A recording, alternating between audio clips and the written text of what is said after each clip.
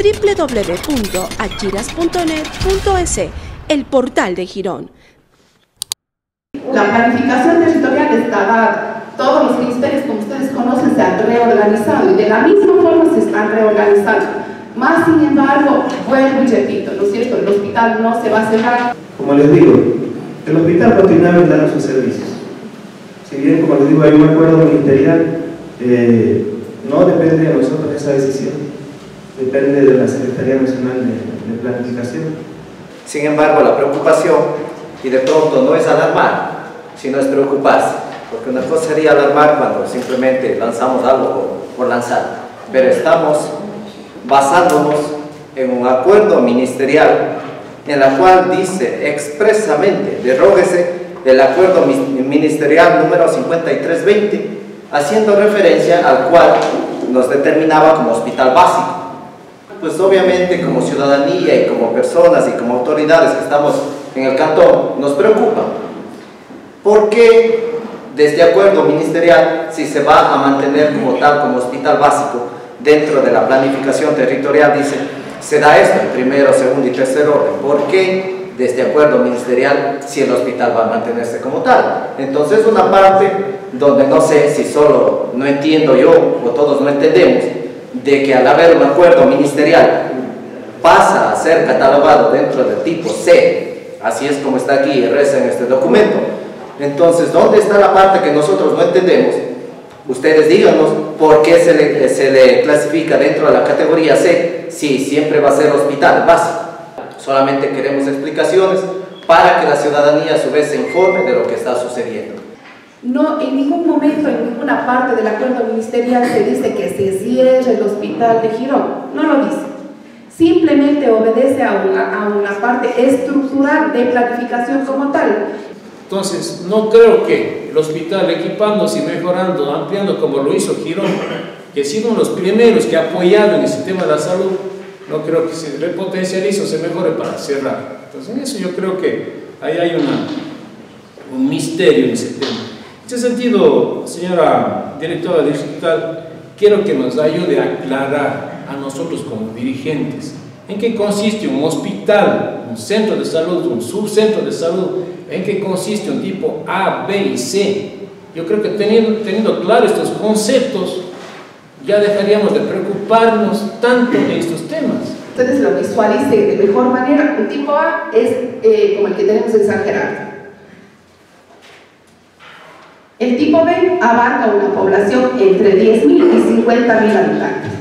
El tipo C abarca una población entre 25 hasta 50.000 habitantes. Presta servicios de promoción y prevención de enfermedades, recuperación, rehabilitación, cuidados paliativos por ciclo de vida. Brinda atención EAIS, especialidades, con, especialidades como medicina general, odontología, obstetricia, psicología, nutrición, rehabilitación, maternidad, atención del parto, emergencia las 24 horas, medicina transfusional, laboratorio de análisis clínico, además cuenta con servicios auxiliares de diagnóstico, radiología e imagen de alta complejidad. Hoy en la zona 6 está en emergencia, porque le invitamos al doctor Osvaldo Suárez para esta reunión y por delicadeza debía mandar un oficio justificándose, por el respeto al pueblo de Girón, porque él es el que ofreció repotenciar este hospital que no se ve por ningún lado de la, la repotenciación. Con respecto a las tipologías del hospital, está manifestado ahí, es claro que no dice la palabra cierre de la entidad operativa, pero dice la disposición contenida en el presente acuerdo ministerial será aplicada de manera obligatoria, será aplicada de manera obligatoria a nivel nacional.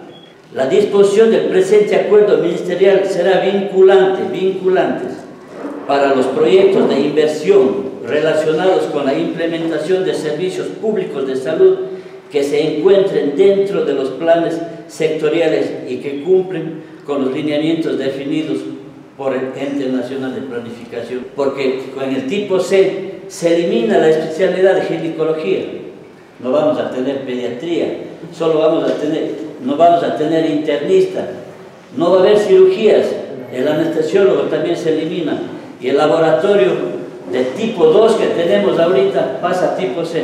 Si no, dígame en, el, en la lectura que dio del tipo C si está constando estas especialidades. No constan ahí en, ese, en el tipo C. Eso, eso existe solo en los hospitales básicos. Yo no sé cómo van a poder hacer las compras de diferentes medicamentos, ¿qué necesitan para hospital básico si el acuerdo ministerial está como tipo C? Van a ser observados. Yo solicito de manera transparente, como manifestó el señor alcalde, que nos digan por escrito qué atención se va a brindar en el tipo C y qué atención se está brindando en el, hospital básico en este momento. Y solicito también que este acuerdo ministerial que nos digan por escrito el doctor Suárez si es aplicable o no a este caso del hospital básico. Esa respuesta lo queremos, lo quiere saber la ciudadanía.